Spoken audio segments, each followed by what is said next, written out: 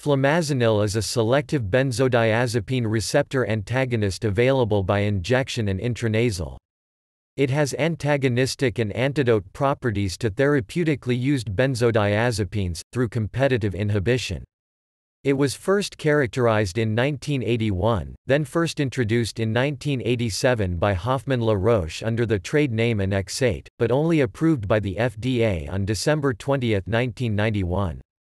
Flumazenil went off patent in 2008 so at present generic formulations of this drug are available. Intravenous flumazenil is primarily used to treat benzodiazepine overdoses and to help reverse anesthesia. Administration of flumazenil by sublingual lozenge and topical cream has also been tested.